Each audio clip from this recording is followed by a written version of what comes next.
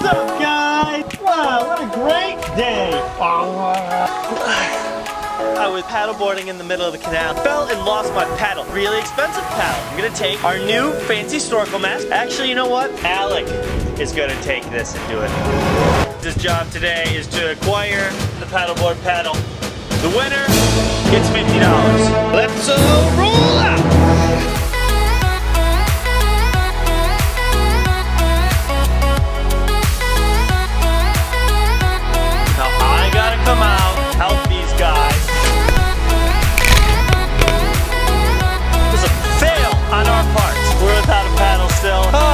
today, guys.